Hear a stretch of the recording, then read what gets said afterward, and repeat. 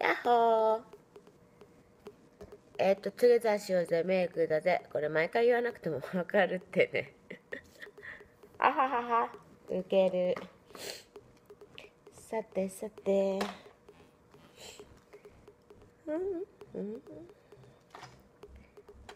おちょっと最近は化粧する機会があのなかったりあったりまあそりゃそうだよね。なんか連続するな。3日に一遍とかじゃなくて。メイクメイクメイク。ノーメイクノーメイクノーメイクみたいな。なんかうまいことバランスが取れない。だからなんか動画も連続でご飯のご飯のさすっぴんでご飯食べてるあんとかさ。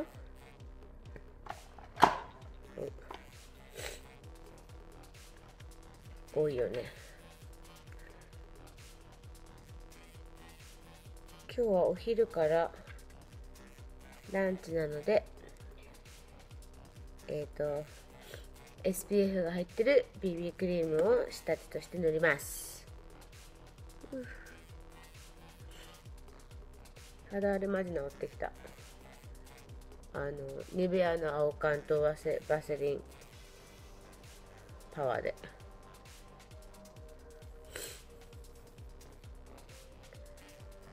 やっぱ保湿だよね。乾燥はマジ敵です。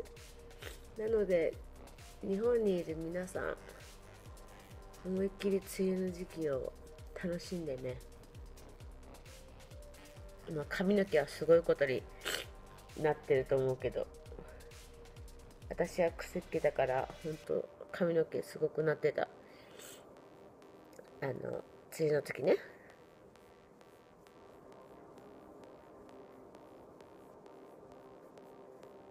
けどやっぱ湿度がうん？湿度？湿度？湿度？湿度？うん。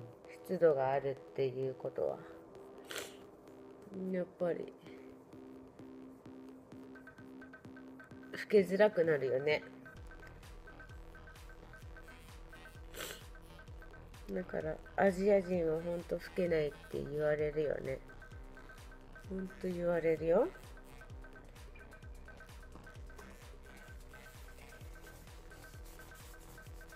老けるののカーブが緩やかだって言って。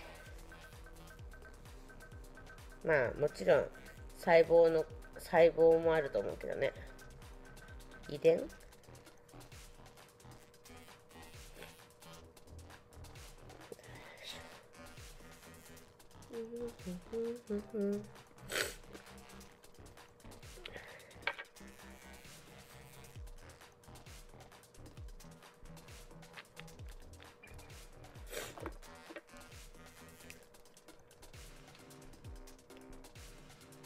だって白人の子とかさ16ぐらいがさもうさ25ぐらいのさ顔してさ超大人じゃん。だからさ30歳とかになったらさもうえ40じゃなくてみたいな感じだもんね。すごい大人っぽい。そして老けて見えるのが早い。びっくりしちゃうよ。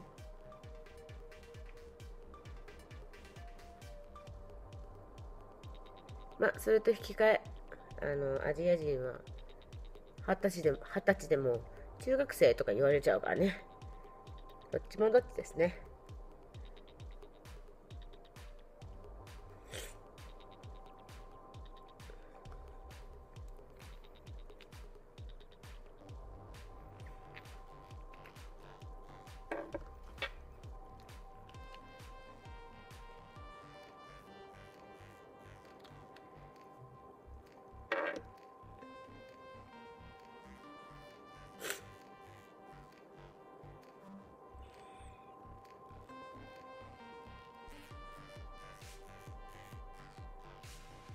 ちろん私はアルコールとかレストランでオーダーしたりしたりとかしたした時とかは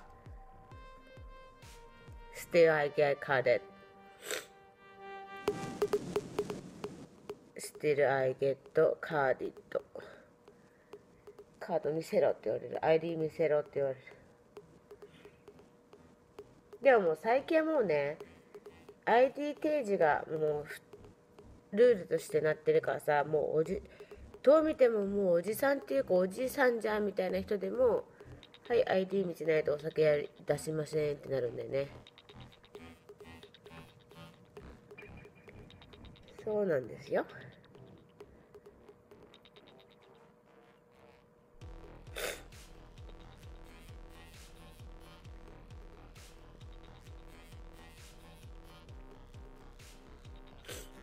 だからあ ID 見せてって言われたらラッキーとかじゃなくてもう普通にそういうルールだからじいちゃんだろうがばあちゃんだろうが見せられなきゃだけど嬉しくはないよね。けどめんどくさいよね。レストランで言われるんだからねあのスーパーとかだったらさわかるけどさビール買ってる時とかレストランで買いに行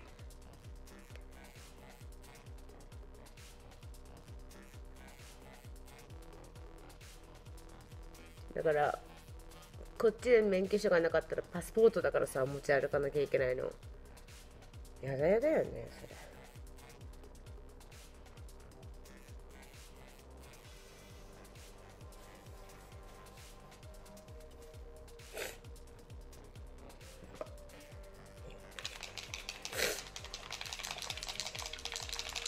今日はちょっと天気いいかな。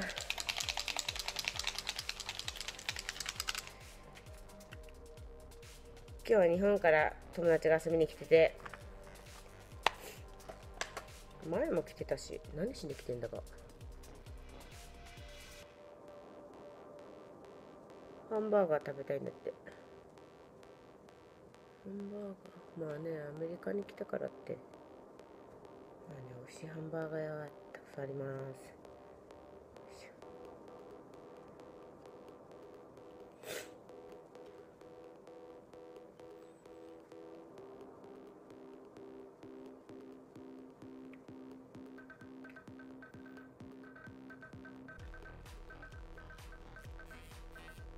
あカリフォルニアにねイネナウトっていうインアウトってあ意味ででももうつなげるじゃん。インアンドアウトってイネナウトっていうんだけどっていうハンバーガー屋さんがあるの。マックみたいな。それのちょっと、うん、オーガニック版っていうかもう店内で全部作りますみたいな感じのまあヘルシー志向なあのハンバーガー屋さんがあのね。で本当にカリフォルニアとあとラスベガスしかないの。ラスベガスカリフォルニアじゃなくてあのネバダ州なんだけどラスベガスにあるのね。でそのイネナウト私好きなんだけどなんかフレッシュ感があるあるから。だからどちらかというとマックよりもモスみたいな。イメージ的にはねどちらかというと。でなんかそこはもうカスタマイズカスタマイズもうメニューはもう全然ないからさ普通のバーガーとチーズバーガーさあどっちみたいなぐらい何でもないのね。でポテトでしょ？でなんかデザートとかもうんとシェイクぐらいしかないからシェイクかソーダそうやってコーラとかファンタとかそういう炭酸のドリンクとかしかないのね、もうメニューが。だからみんなカスタマイズするんだけど、ポテトだったら2回揚げてとかさ、もうカリカリにするわけ。とか、なんか、うん、ポテトの上にチーズ、チーズ塗ってとか、なんかメキシ,、うん、メキシカンソースだね。サウザンソースなのかな？なんかオレンジ色の、あん、ちょっとドロッとした昆布サラダのドレッシングみたいな感じ？とかあとハンバハンバーガー自体にもそれを乗せるとかいろいろあるのよ。でも私たまにあんまお腹空いてないけど誰かがイネナウト行きたいから行くっていう時はねあん私プロテインスタイルっていうふうに言うんだけどだからチーズバーガーのプロテインスタイルにしてって言ったらあのパンがないパンがレタスになってるのだからレタス肉トマトいたかな。トマトレタスチーズまたレタスみたいな。だから超レタスみたいな感じなの。でそのレタスもシャキシャキしてて美味しいし私レタス好きじゃん。なんかねそれはねもうね最高なのよ。私にとって。そうね。だからあとはそのアニマルスタイルって言ったらちょっと重い重い感じになるんだけどいろいろスタイルがあるから、まあ、興味がある人は調べて誰かブログとかで書いてるはず。イネナウトバーガーのカスタマイズ方法。実際美味しいんだよね。ただ私としてはそのあのフライドポテトのダブル揚げがよくわかんない。もうカリカリすぎて。えみたいな。あのカラムーチョの細いやつみたいなぐらいカリカリしてて。フライドポテトですかって感じだよ。でもまあそれが好きな人いるからさ。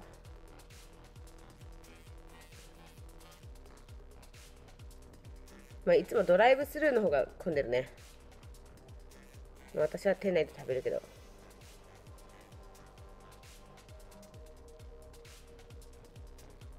建物的にはもう本当にマックって感じ。本当ファーストフードみたいな。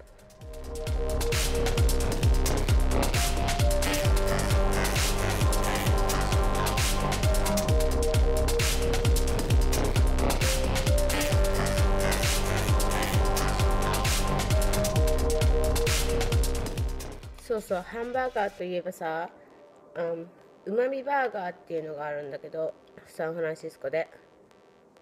まあ近年できた洒落てるバーガー屋さんなんだけどね。なんでうまみバーガーっていう名前か知らない。日本人が経営してるわけではない。でさ本当にちっちゃいのよ。あの普通のバーガーより。ちょっとちっちゃくて。でバンズパンね。がさちょっと甘めなわけ。でその中のハンバーグ。がちょっと分厚いんだけどなんかトリュフオイルかなんかトリュフの何かを使ってるとか言って。そのトリュフバーガーとかにするとレタスもトマトも入ってないの。本当にパンハンバーグパンみたいな状態で20ドルとかするんだよ。はあみたいな感じじゃない？もう20ドル超えてるかもしれないね。しかもトマト、えっと、ポレイロついてないの。フレンチフライついてないのね。わーって感じじゃない？誰が頼むのみたいな。でもね人気なわけ。いや美味しいけどちょっと胃もたれするみたいな感じなわけ。だって野菜もないじゃん。でそのトリュフ使ってるからちょっと結構ちょっとオイリーなのね。だからお肉もいい肉を使ってるんだろうとは思いますが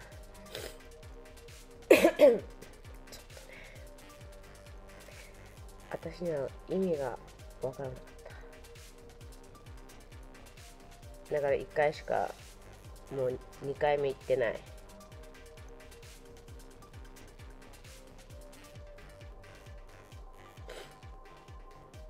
だから今日その日本から来て友達がバーガー食べたいって言ってさまあザ・アメリカっぽいバーガーだったらそのうまみバーガーはなないけどちょっと変わったなんか最近のサンフランシスコっぽいなんかなんかおニューでおしゃれな感じ食べたいって言ったらそこになるのかな。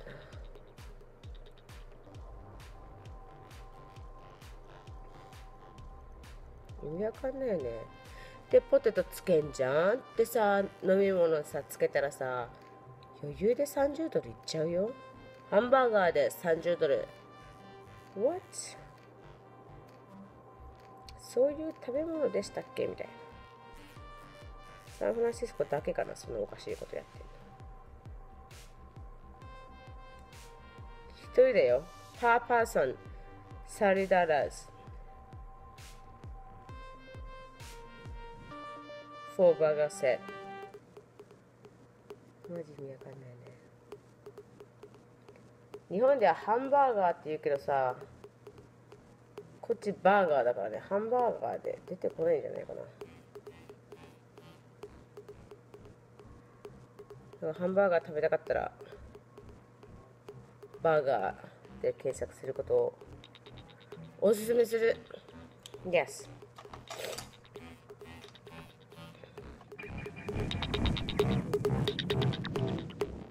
もう日本のさコンビニで売ってるさサンドイッチ。もう私何年も食べてないかも。何年もっていうか1年は食べてないかも。だってあんなサンドイッチないもん。耳切ってやってさ生のパン生のパンでも白いパンでしょ。こっちはもう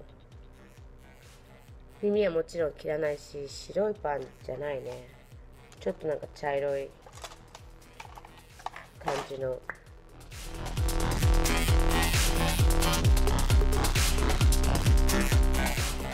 囲んじゃった。ね。囲んじゃった囲んじゃった。わーいわーい。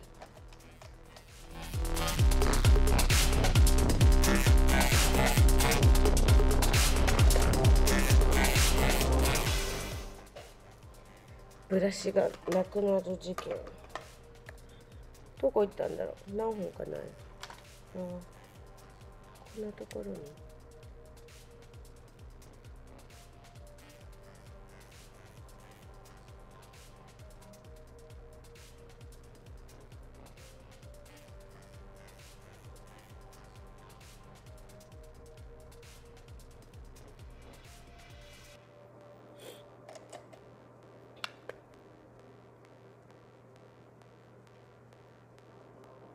今日はちょっとスモーキーアイまでいかないけど目は囲囲ってる感じにしたかな。今日はランチだからね。夜だったらさがっつりがっつりメイクでも床ピンクらしいけど昼間お日様がいるところだから。スモーキーアイってやったら何張り切っちゃってんのよってなるからね。うん。それは気をつけます。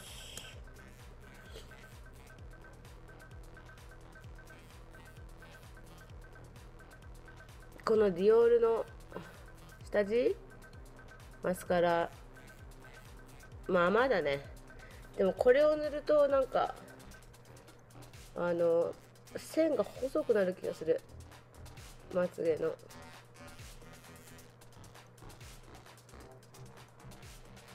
だから太くはならない気がする。長くはなると思うけど。って勝手に分析しているけど。でもなんか繊維が入ってる感じじゃないからこれ。本当になんかコーティングコーティングコーティングって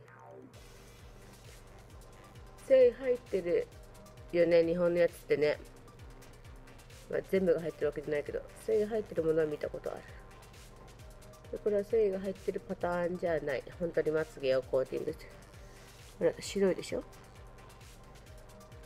雪女みたい。色黒いけど。ほほほでここ数日ちょっと私の中数日っていうかこの2日間ぐらい。まあ数日か。数日ちょっと私は下まつげ下まつげにマスカラを塗ることが流行ってんのかしら。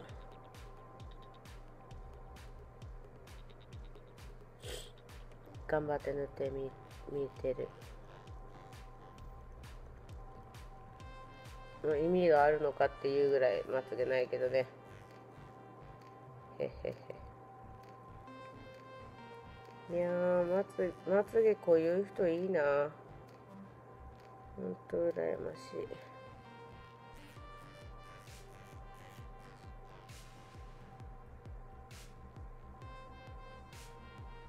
もうアジア人以外はもう天然でさくるんってカールされてるからさビューラーなんて使わないんじゃんね。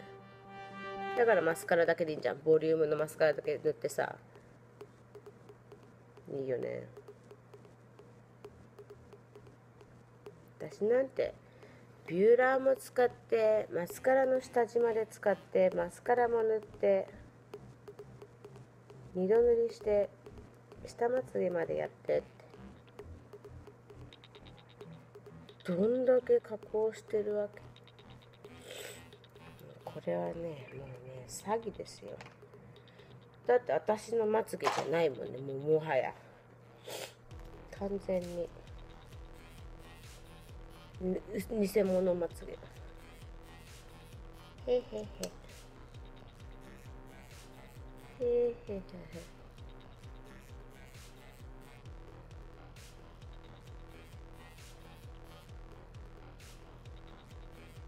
今日も暖房つけてるよ。もう寒い今日の朝。朝起きてほんと寒いもんね。もうあ布団から出たくないってなる。ほんと冬かよっていう。何だそれって。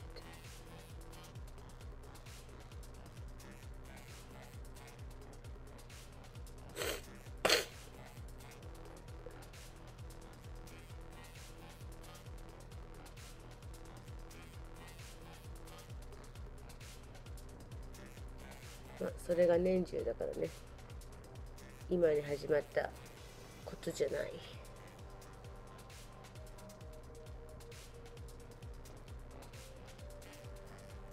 もうニューヨークもあったかいしシアトルもなんか40度近いとか言ってさわーって感じ。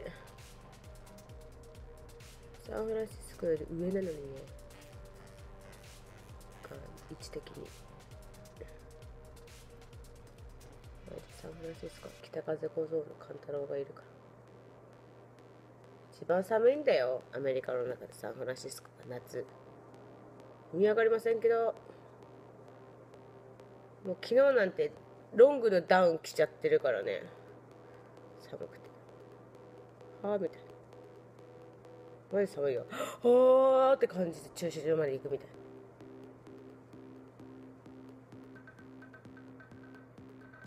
っていう6月です。本当。だから皆さんサンフランシスコに旅行に来られる際はえー、っとサンフランシスコの中で一番暖かいであろうと思われてる9月10月。でもそうそこだと日本も暑いからね。むしろ日本が真夏の時とか梅雨の時にちょっと涼しいところに行こうみたいな感じで来るのもいいかもね。その代わりあのちょっと涼しいぐらいの問題じゃないけどね。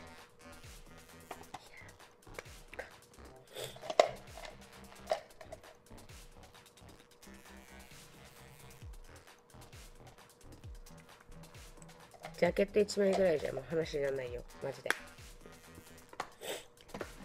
だからだいたい出張のさあのさおじさんみたいな人とかさもうあの背広の上みたいなジャケットスーツみたいなやつ？のジャケット1枚とかで来るわけ。はあみたいな。そんなんで無理ですっつって。まあママと風邪ひいて帰ってるよね。あそうだよカリフォルニアだからって。カリフォルニアは日本ぐらい広いです。位置的には新潟ぐらいらしい？友達が言ってた。から本当かどうかは知らない。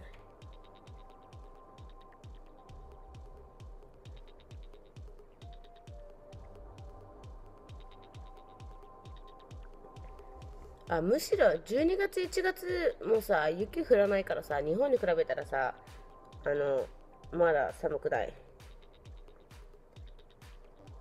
からそのシーズンを狙ってもいいかもね。ただ一応サンフランシスコ的には12月1月2月が雨季ですっては言ってるけど全然あの雨降りませんけど。一応公式的には雪だって。なんか去年はねあの台風みたいなの台風じゃないけど大雨洪水警報みたいなの出てたけど大したことない雨なのにさやっぱりさいつもさ雨降らないからさもうこの土地自体が免疫なさすぎてさちょっとのさザーザーの雨ぐらいでさもう水浸しなの。はい車沈没みたいな。もうハイウェイ無理ですみたいな。弱みたいな。なんか日本人にとってみたらあの大雨警報とかここっちでなったとしてもはこんなもんシャッパーってなる。こんなんで警報出すのみたいなこんなんで車止まっちゃうのみたいな感じね。だから台風とかで慣れてる日本日本の人たちはそうだよね。いやこんな感じ。もうできちゃった。今日はちょっと目だけかくかくってるねじゃあハンバーガー何かわからないけど食べてくる？